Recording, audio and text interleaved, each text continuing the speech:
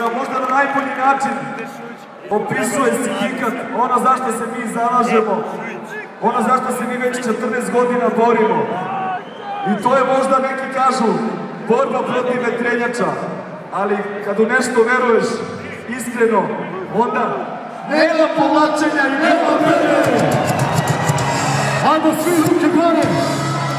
Ovo je suština u borbi za principe.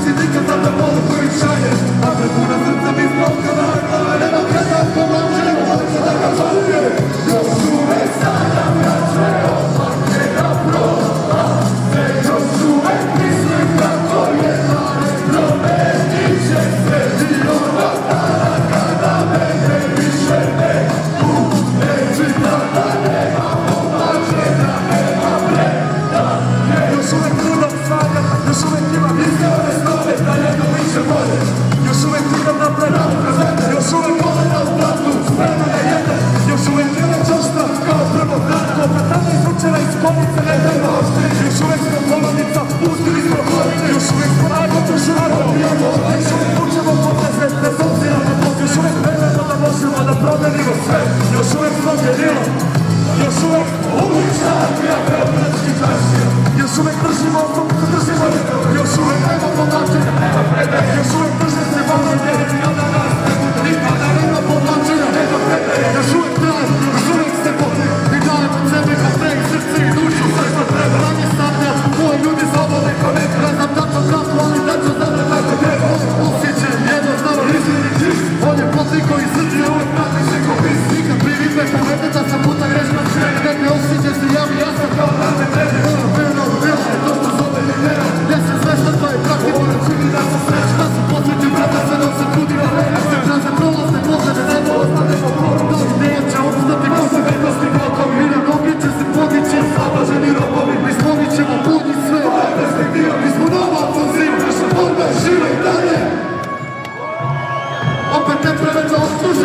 Você tá não.